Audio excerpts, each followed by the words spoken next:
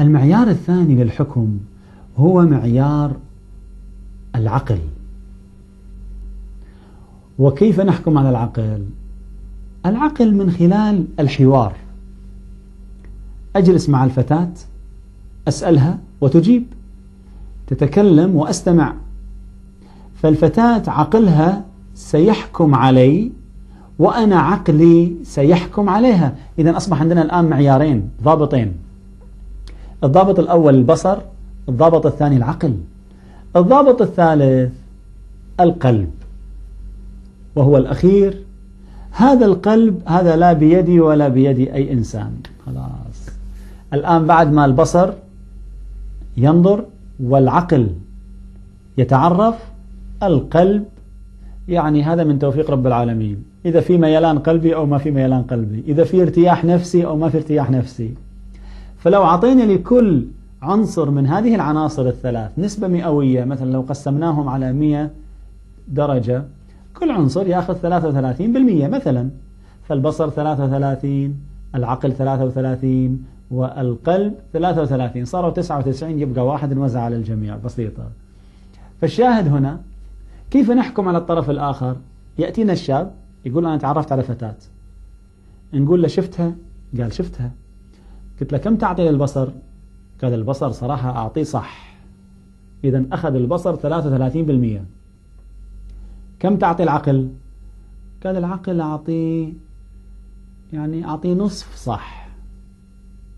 يعني كم نصف الثلاثة وثلاثين؟ كم عاد أنتم؟ عندكم شطارة في الحساب ولا لا؟ نصف الثلاثين خمسة عشر والثلاثة واحد ونص يعني ستة عشر ونص. يأتي للقلب نقول لها بعد ما شفتها وتكلمت معاها قلبك مال لها ولا لا؟ يقول إيه والله صراحة شعرت بارتياح. إذا صار عندنا الآن الثلاث معايير كلها نتائجها إيجابية. فنقول لا توكل على الله. خلاص وافق على هذه الفتاة ونقول للفتاة لما ترتاحين قلبيا وبصريا وعقليا توكلي على الله عز وجل بعد الاستخارة. لكن لو جاءت فتاة وقالت والله بصريا صح. عقلا لا صفر. قلبا نص نص. نقولها تزوجي ولا لا؟ حسبوا عندكم كم النسبة فوق الخمسين بالمية ولا أقل من خمسين بالمية؟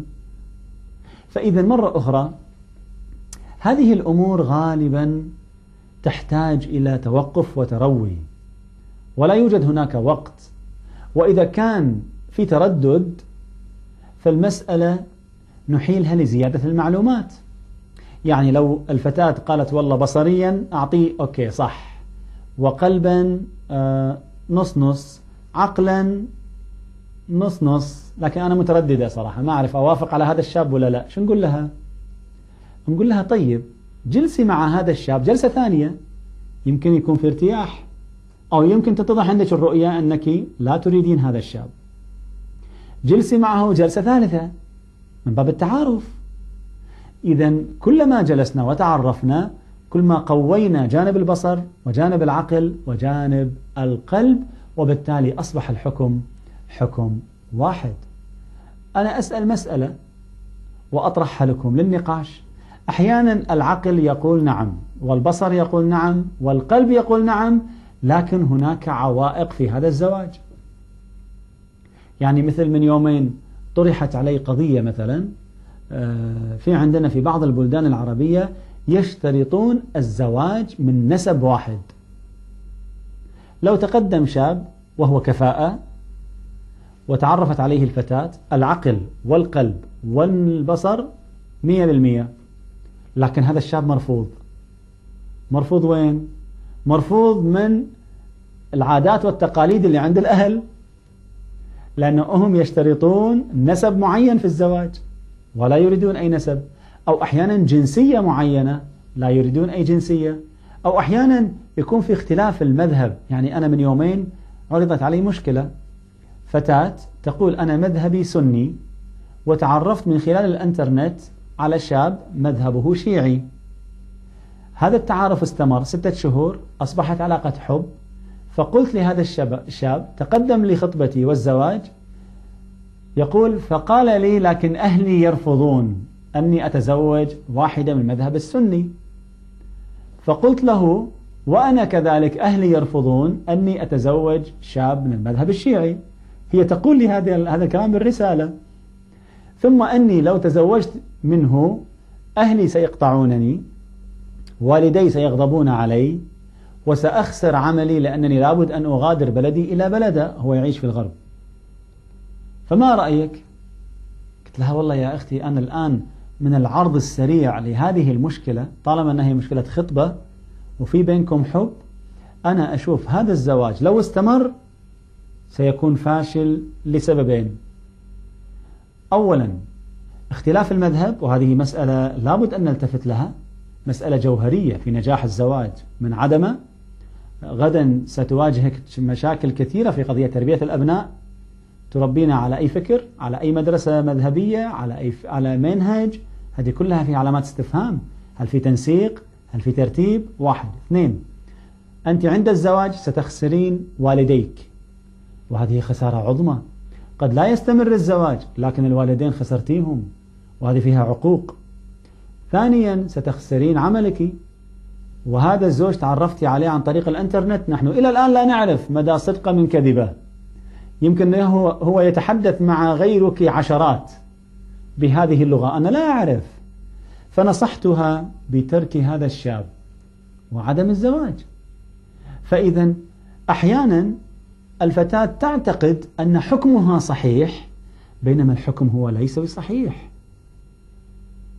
فالبصر والعقل والقلب نعم هم معايير لكن لابد من الاستعانة بالخبرة. فأحيانا يكون ضابط الأهل ضابط صحيح وأحيانا يكون ضابط الأهل غير صحيح. ولذلك في الشريعة الإسلامية أعطتنا حقيقة تميز عظيم جدا. أنا لم أجد في كل الأديان والمذاهب وهو في شيء في القضاء الإسلامي يسمى دعوى العضل. ما معنى العضل؟ العضل يعني أحيانا يتقدم شاب كفؤ محترم صالح متدين إلى فتاة. ويتم الاتفاق بين الشاب والفتاة على الزواج. ولا يوجد هناك عيب. من الذي يقف بالطريق؟ الأب. فيرفض هذا الزوج. لأسباب قد يكون للنسب للجنسية للبيئة لغيره. الشريعة الإسلامية أعطت حق للفتاة أنها تذهب إلى القضاء الشرعي.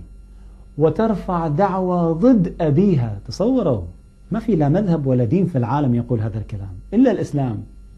ترفع دعوى ضد أبيها. وتقول للقاضي أن والدي يحرمني من الزواج لأسباب غير منطقية. تعرفون ماذا يفعل القاضي؟ القاضي يستدعي الوالد ويناقشه. فإذا الوالد استطاع أن يقنع القاضي بأن هذا الزوج غير كفؤ هنا القضاء يرفض الدعوة. أما إذا لم يستطع أن يقدم ما يبرر رفضه فالقاضي يكون هو الولي للفتاة يعني كأنه هو ينصب نفسه هو والدها ويزوجها من هذا الشاب الذي تقدم له. وأنا فعليا أنا شخصيا في المحكمة أنا زوجت أكثر من فتاة بهذه الطريقة. والدها كان رافض والرفض لما ناقشت الأب كان الرفض غير مبرر حقيقة. غير منطقي وبالتالي هذا حق من حقوق الفتاة. فإذا مرة أخرى نحن لما نتكلم كيف نحكم لا شك أن المسألة مسألة مهمة جدا وهناك معايير أخرى.